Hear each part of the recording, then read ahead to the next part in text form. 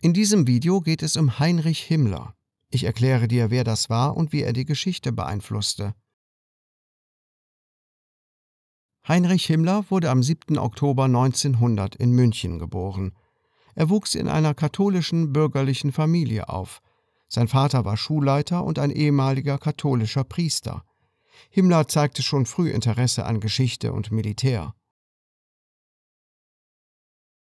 Himmler trat 1923 der Nationalsozialistischen Deutschen Arbeiterpartei NSDAP bei.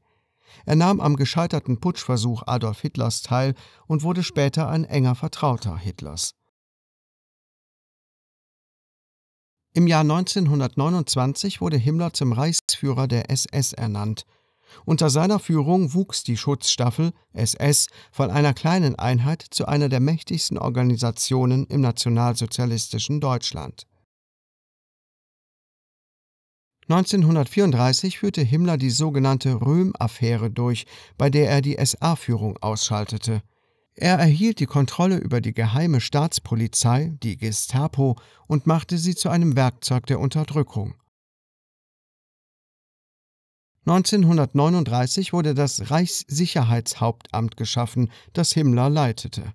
Es koordinierte die Aktivitäten von SS, Gestapo und anderen Sicherheitsdiensten und war entscheidend an der Durchführung des Holocausts beteiligt. Unter Himmlers Führung wurden Millionen von Juden, Sinti, Roma, Homosexuellen und anderen Minderheiten ermordet. Er war auch für die Errichtung von Konzentrationslagern und Vernichtungslagern verantwortlich. Während des Zweiten Weltkriegs war Himmler nicht nur für die interne Sicherheit, sondern auch für militärische Operationen zuständig. Er leitete eigene SS-Divisionen und war an zahlreichen Kriegsverbrechen beteiligt. Als der Krieg sich dem Ende neigte, versuchte Himmler mit den Alliierten zu verhandeln. Dies scheiterte und führte zu seinem Bruch mit Hitler. Himmler versuchte zu fliehen, wurde aber gefasst. Am 23. Mai 1945 beging Himmler Selbstmord, um seiner Verurteilung und Hinrichtung zu entgehen.